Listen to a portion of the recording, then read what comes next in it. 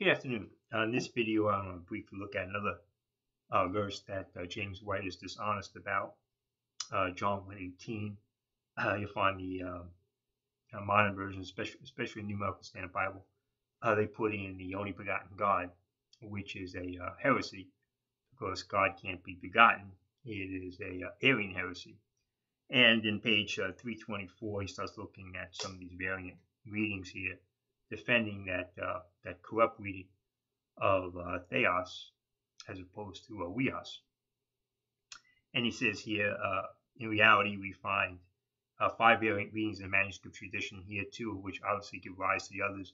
Here is the textual evidence as given by the United Bible Society's fourth edition text.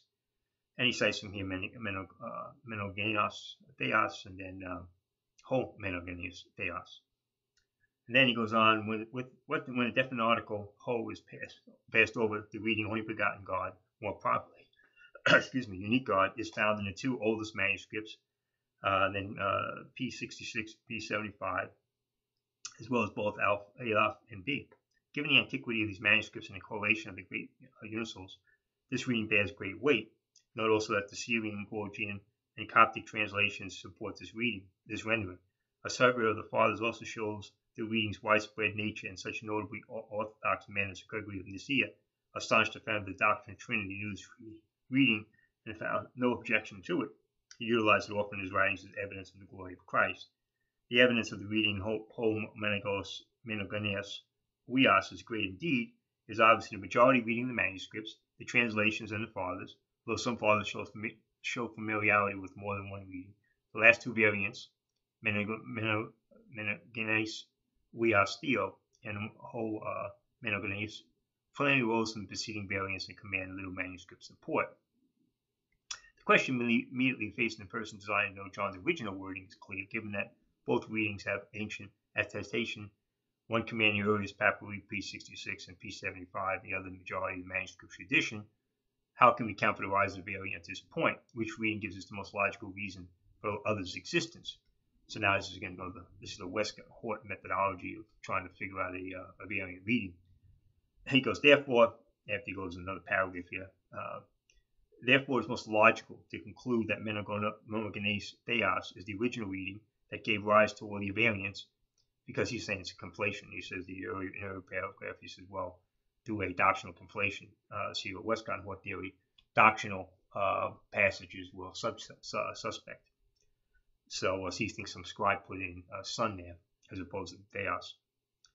Uh, as the original reading that gave rise to the other variants, including the reading found in the majority of Greek texts. The internal evidence, especially coupled, with the ancient attestation of the reading of the papyri release to want to take that this this reading with confidence, and this decision is not reached is not reached to Gnostic or heretical beliefs or leanings, but to the external evidence itself. as always, he leaves something out. And the one of the points he made on uh, when his uh, part one of his uh, response to Gipp uh, was the fact that uh, not all Alexandrians were heretics, and he makes the point Athanasius, the great defender of the Trinity.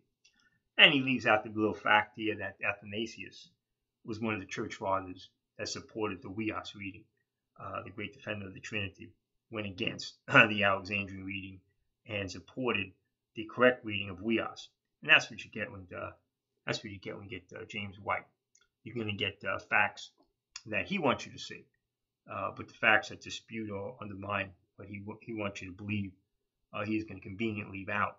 So Athanasius, the great defender of the Trinity, believed huios should be in that verse, not um, not theos. Theos is the wrong reading, a begotten God, a unique God, uh, whatever that means, uh, is a false reading. He's a begotten Son because God, Christ came in the flesh in time, and that he was begotten in time, not begotten in eternity. That's a heresy. Uh, says that uh, uh, God was begotten in eternity. That's that's an Arian heresy, and uh, that and that originated with uh, Origen. the idea that you get a, a subordinate God, any God that's begotten would be uh, subordinate to the one who begot him. But the Son was begotten in time, and so uh, uh, this is a heresy. Some new version, new age, uh, people always say, well, show us the incorrect reading. Where's, where's the heresy? John 1.18 is a heresy if you have a New American Standard Bible, clearly, and that uh, they have a begotten God. And uh, there you have a um, an Arian heresy that uh, Athanasius uh, rejected, and uh, one of the church fathers stood against it. of course, but that's a fact that James White is going to leave out. And uh, so that's that's the scholarship you get when you're reading James White. Amen. Thank you.